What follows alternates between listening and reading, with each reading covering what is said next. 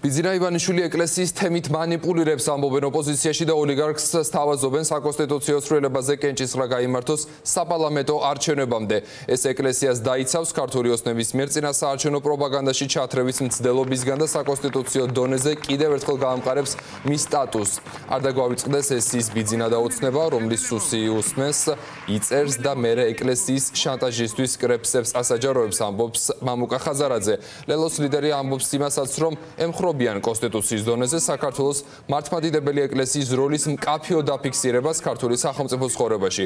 ოპოზიციაში ამბობენ, რომ ივანიშვილი საზოგადოების ივანიშვილ საზოგადოებისთვის შესათავაზებელი არაფერი აქვს, სწორედ ამიტომ ახლა მის პოლიტიკურ არსენალში მხოლოდ ეკლესიის თემით სპეკულაციები დარჩა.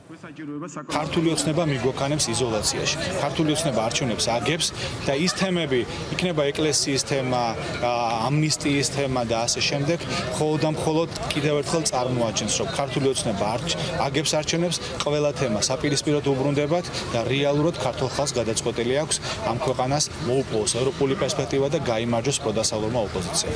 არც ეკლესიის თემა არც ზოგადად საკონსტიტუციო ცვლილებები არ შეიძლება ერთი პოლიტიკური ძალის ფარგლებში ხდებოდეს. მათ უნდა ღიათ უთხრან საზოგადოებას, რა ტიპის ცვლილებას აპირებენ. ჩვენ მზად ვართ, რომ ამას მხარი დაუჭიროთ და ამას არ ჭირდება, რომ ეს აუცილებლად საარჩევნო კონტექსტში განვიხილოთ. და ნუ ველოდებით არჩევნებს ინიცირება ახლავე მოხდეს და ახლავე გამოხატოს ყველა პოზიცია. ეს არ შეიძლება, რომ ეკლესიასთან დამოკიდებულების თემა ვაქციოთ პოლიტიკურ ინსტრუმენტად და ბიძინა ივანიშვილი, რომელმაც საქართველოს მართლმადიდებელი მართლმადიდებელი ეკლესიის წარმომადგენლებს ფარული თვალთვალი დაუნიშნა, ფარული მიყურადება, მე სუსის კრებსები გაავრცელა და ყველანაირად შეეცადა, რომ ეკლესიის დისკრედიტაცია მოეხდინა, ეხა უნდა რომ რაღაცა თითქოს ეკლესიის გამაძლიერებლის მანტია მოისხას.